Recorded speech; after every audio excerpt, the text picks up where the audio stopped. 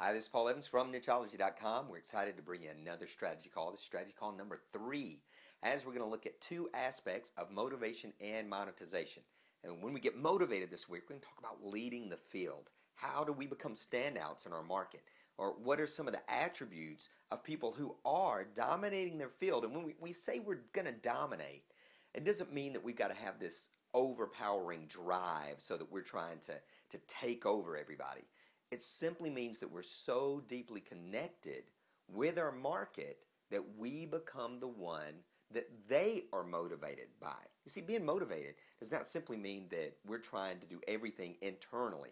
We're often motivated when we become available for other people and we help them in their lives. So, we're going to discover how to lead the field when it comes to our markets. And during monetization, we're going to look at affiliate C4 how to really become explosive with our affiliate programs.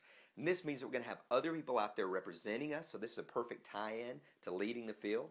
And they're going to be out there making money for us. But that doesn't happen automatically. We've got to make sure that we're giving them the tools, the resources, the training, all of that to make it easy for them. So when we look at affiliate C4, I'm going to give you four components that are going to help you explode the affiliate program for your own personal products. So join us for the strategy call coming up this Monday. I look forward to seeing you there. Oh, and once again, it's absolutely free.